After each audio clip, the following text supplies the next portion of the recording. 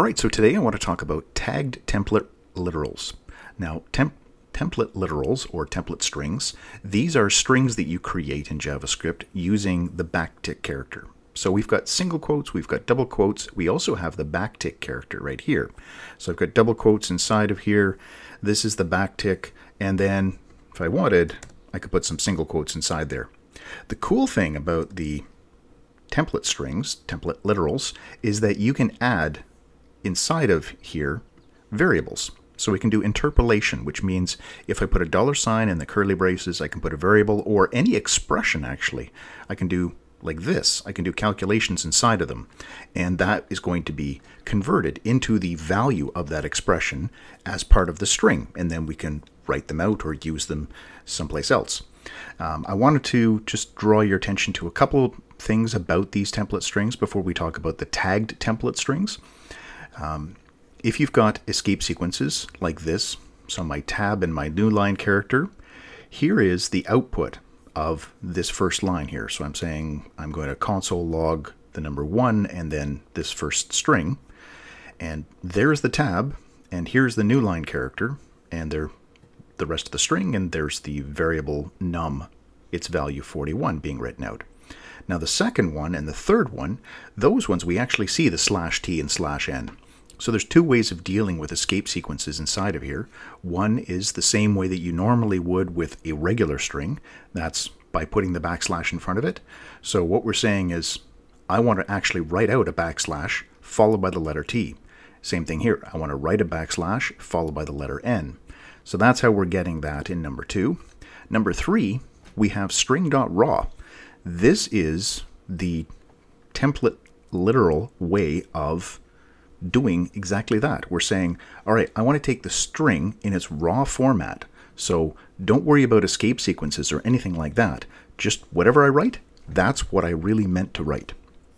So here we have it. Um, we get the same value as if we had done the extra backslash here and here. And then the last one, I'm just demonstrating that we can do an expression. All right, so that's a summary of the template literals, the template strings with the backtick character. Now, tagged template literals, don't know why I'm having such a hard time saying that today, but tagged template literals are when you take one of these template strings and you add a function to the front of it. So here, I'm writing out this string, and I've got two variables that I've stuck inside of it. Now, if I were to create a function here, let's call it f.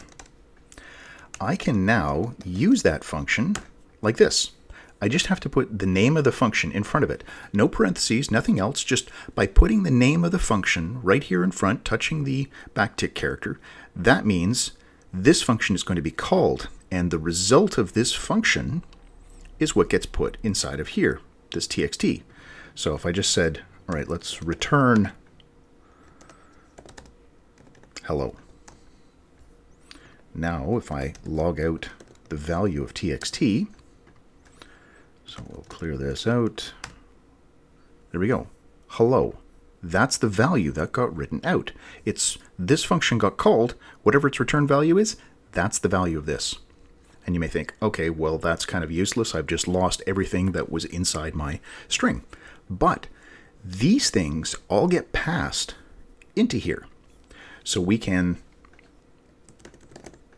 Let's put a variable in here called strings. Doesn't have to be called strings, that's just the name that I'm using. This is actually going to be an array.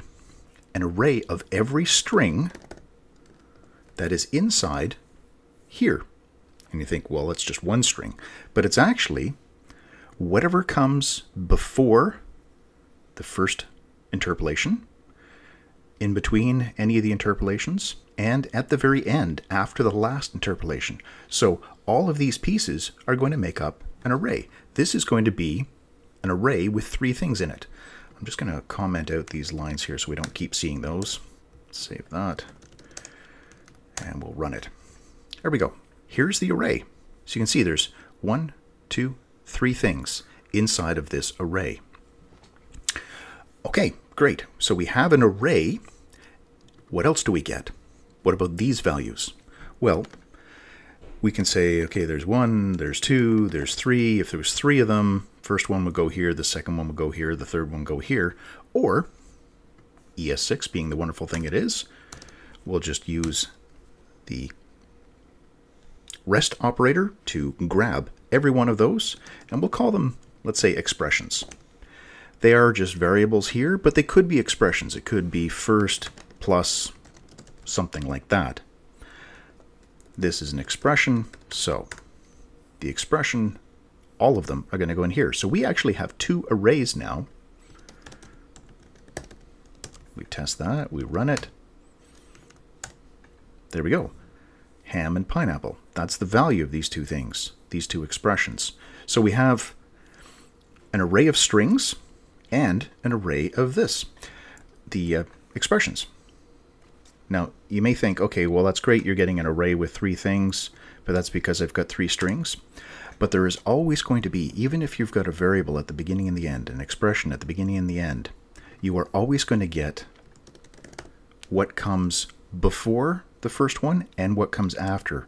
They could be empty, but there it is. So I've got an empty string, the space and space, and then another empty string. So we are getting a value here and here. For that reason, this strings array that we've got right here is always going to be longer than the expressions. The expressions is always going to be one less than that value. If you wanted to do something with just the strings, you could. If you wanted to do something with just the expressions in the functions, you could. If you want to piece them all together the way you want, you can just say, I do not like and then I'm going to take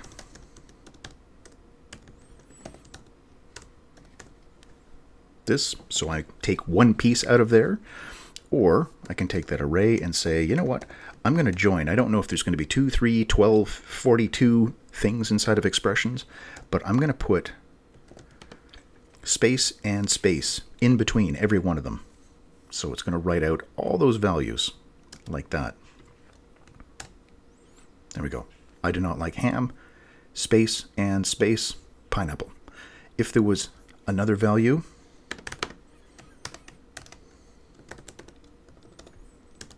like that, there we go. There's the ham and pineapple and ham. So as many as there are inside of here, this is going to bring them all together and just put that and in between each one of them. All right, now, if you want to do something with those variables, Let's go back to what we had here. There we go. I've got this back to its original state. If I wanted to do something with both arrays, I know that this one is always going to be one less in length than this one.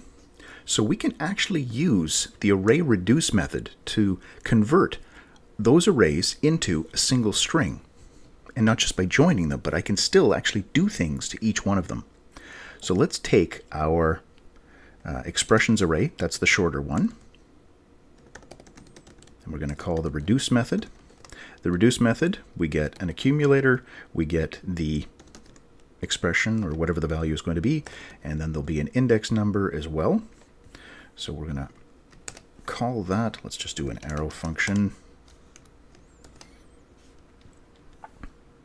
So this is the function that gets called each time it loops through each of the expressions, however many there are, then the value, the starting value for the accumulator is, I'm going to take whatever the first string is. So right here, we're going to say strings number zero. That will be, I don't like pizza with space. That string, that's going to be my starting value. That's going to get passed into the reduce function. If you don't know how the reduce function is, I'll put a link down in the description for you to my video on reduce explaining how that works. But I'm going to start with my first string here. Then, each time we run through here, I'm going to take whatever the value of the accumulator is, plus whatever the current expression is, plus whatever the next string is going to be. So strings, and inside of there, index plus 1. So whatever the next value is, because I know I'm always going to have 1 at the end. So if this is index number 72, then string number 73 is going to be this one. The strings is always one longer, so we've always got one extra index at the end. So we're running this function. We're going to return the value of this. And then we're going to write it out here. Okay, so I should see something that looks just like this. There we go. I don't like pizza with ham and pineapple. That's going to be the full sentence. But I have an opportunity here because I'm working with each of the individual values to do something with it. So we could do something as simple as to uppercase. It's a string, so I'm going to convert it to uppercase.